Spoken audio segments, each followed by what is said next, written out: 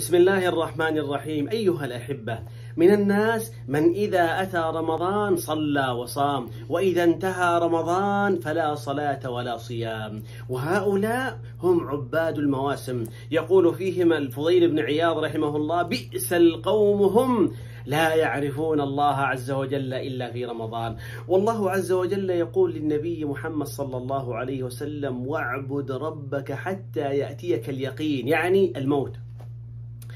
وهؤلاء ينتقلون من عز الطاعة إلى ذل المعصية. قد كان الإمام أحمد بن حنبل رحمه الله يدعو ويقول اللهم أعزنا بطاعتك ولا تذلنا بمعصيتك.